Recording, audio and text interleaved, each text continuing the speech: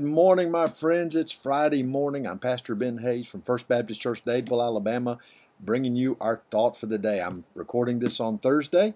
Uh, one reason is because on Friday I'm scheduled to go in and have some injections in my back. So please pray for me as I go.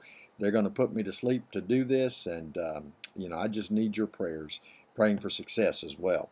Uh, also, don't forget, this weekend we got a big day ahead of us on Sunday. What a fantastic day to come and worship the King of Kings and Lord of Lords as we continue our Christmas uh, worship. Uh, we've got a special guest, a missionary coming to share with us on Sunday morning. It's going to be fantastic. Uh, so come on out and join us. 8:45 for Bible study, 10 o'clock for worship. Hope that you'll you'll be there.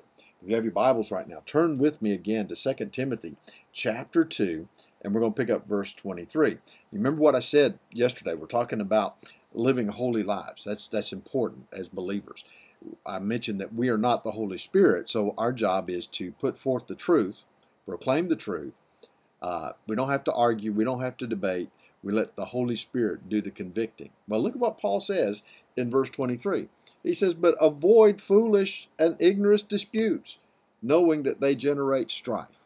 Look, you are never going to win somebody to Jesus by arguing with them, calling them names, debating them on Twitter or Facebook or Instagram or Snapchat or any of those places. The way that we're going to draw people to Christ is by loving them, standing firm on the truth, not compromising the truth of God's Word, but loving people. That's how we do that. That's what Jesus did. Now, there were times when he he he debated, he argued.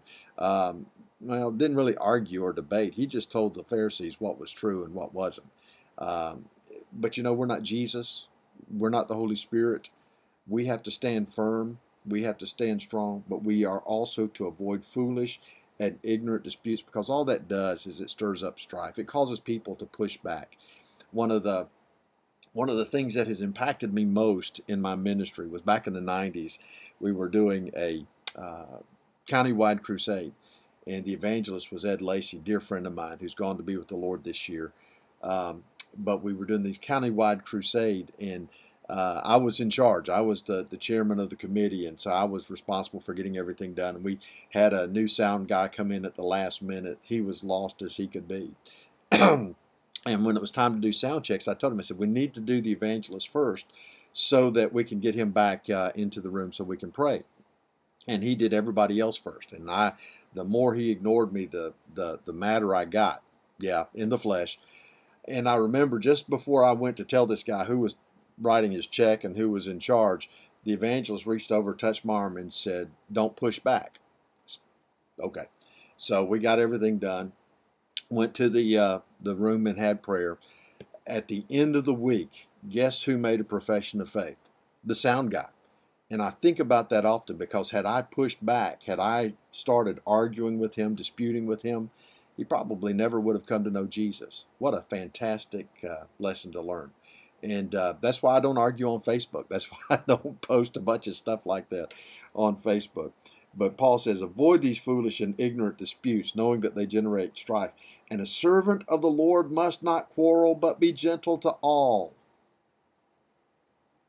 That's the truth. He's not just talking about pastors here. Understand, he's talking about believers. If we want to reach people, we've got to be gentle and loving. Now, for pastors, he says they have to be able to teach, patient, in humility correcting those who are in opposition, if God perhaps will grant them repentance so that they may know the truth. Do you see that? We have to be patient. Oh, Lord, help me be patient. I, I need that sometimes because sometimes I just want to jump on folks and say, hey, don't you get this? Don't you understand? And in the past, I've done that some, and I've repented and I've confessed, and God's forgiven me. But here's what we're supposed to do in humility, correcting those who are in opposition. You know why?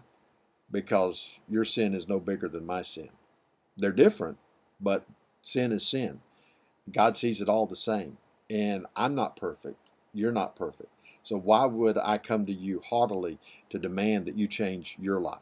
I stand on the truth. I teach the, the truth of God's word. I don't compromise, but I have no right to look down on you because of your sin. Instead, I love you, and I'm supposed to love you, and I, I'm called to love you, to, in humility, correct those who are in opposition, if God perhaps will grant them repentance. That's the Holy Spirit's job, by the way, not mine. Remember? Not the Holy Spirit. You're not the Holy Spirit. We present the truth, we love on people, and we let the Holy Spirit do His job. That's a good word from God's Word. And I hope that you'll think about that today. Be blessed. Hope to see you on Sunday.